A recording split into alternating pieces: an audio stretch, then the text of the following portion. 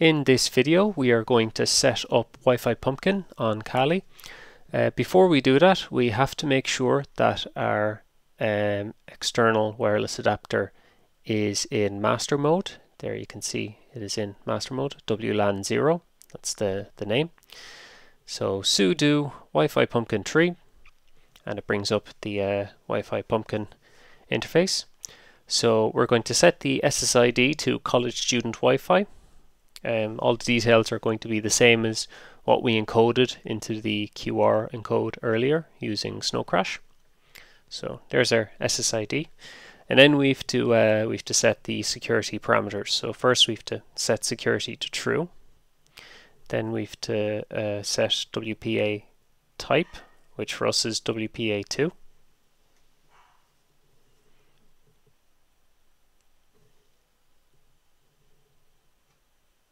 Then we're going to set the algorithm to TKIP, Temporal Key Integrity Protocol.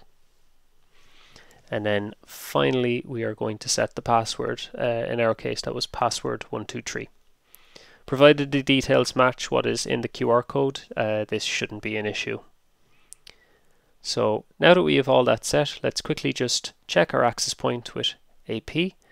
We have our B SSID, which won't matter in this case. Our SSID is set, channel 11 interface. It's not running. We've set our security parameters. There they are.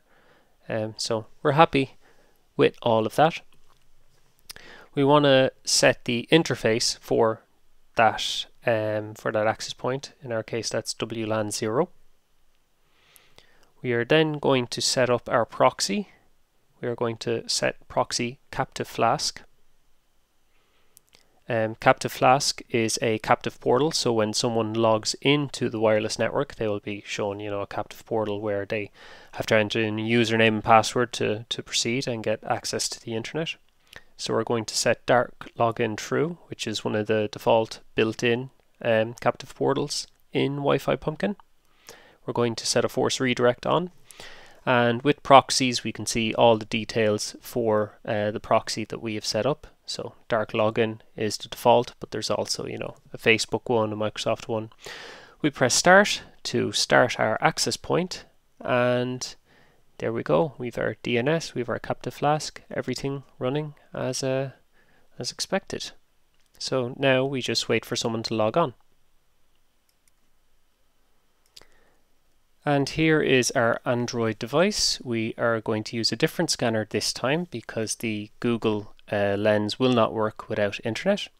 There's our very snazzy uh, Wi-Fi login poster. There's all the details. So we hit connect.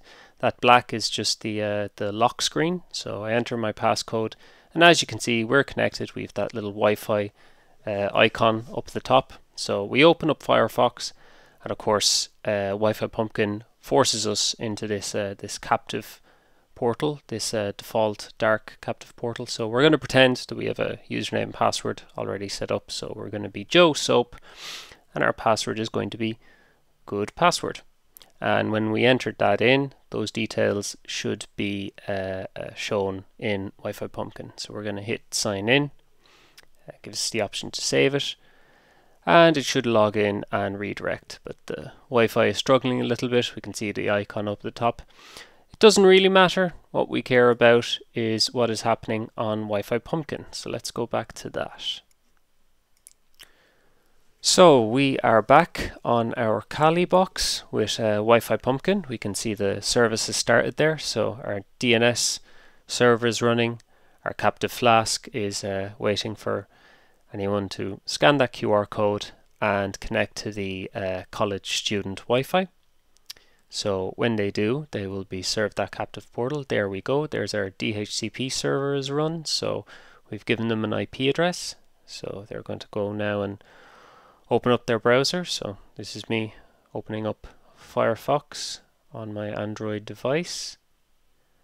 And obviously I'm fumbling away trying to type in a username and password.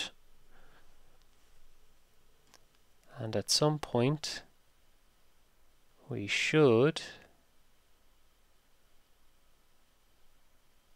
come on there we go So we can see our login there of Joe Soap, our password of good password, and we can also see the host IP address. I have an IP of 10.0.0.21.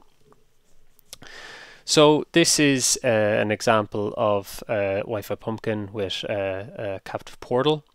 Alternatively, uh, Wi-Fi Pumpkin offers uh, uh, just a, a, plain old proxy where you just proxy the traffic through and you can just sniff the traffic um, that way or you can integrate Wi-Fi Pumpkin with uh, the Beef framework and start injecting hook.js into every single uh, uh, web page that um, that the client requests. So a lot of potential, but that can all be for a future video.